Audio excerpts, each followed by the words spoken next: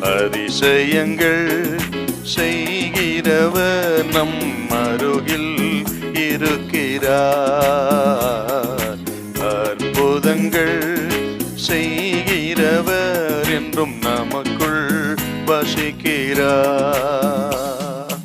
ஆதி அவன் இருபத்தெட்டு பதிமூணுலேருந்து கொஞ்சம் வாசிங்க.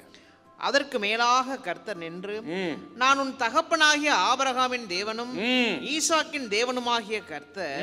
நீ படுத்திருக்கிற பூமியை உனக்கும் உன் சந்ததிக்கும் தருவேன். தருவே உன் சந்ததி பூமியின் தூளை போல் இருக்கும். நீ மேற்கேயும் கிழக்கேயும் வடக்கேயும் தெற்கேயும் பரம்புவாய். வரம்புவாய் உனக்குள்ளும் உன் சந்ததிக்குள்ளும் பூமியின் வம்சங்கள் எல்லாம் ஆசீர்வதிக்கப்படும். வம்சங்கள் எல்லாம் ஆசீர்வதிக்கப்படும். நீங்கள் பன்னிரெண்டாவது வாசிங்க அங்கே அவன் ஒரு சொப்பனம் கண்டான். இதோ ஒரு ஏணி பூமியிலே வைக்கப்பட்டிருந்தது. அதன் நுனி வானத்தை எட்டி இருந்தது.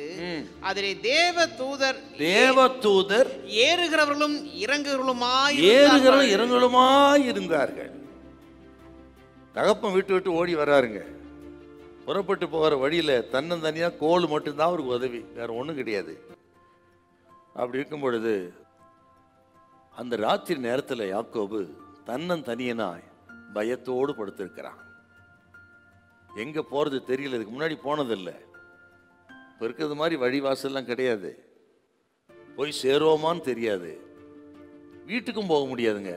ஏசா எப்போ கொண்டு போடும் ரெடியாக இருக்கிறான். போக இடம் தெரியாது திரும்பி போக முடியாது.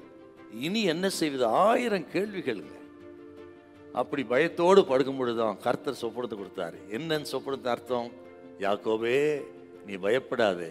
நீ பரலோகத்தின் பார்வையில் இருக்கிறாய்.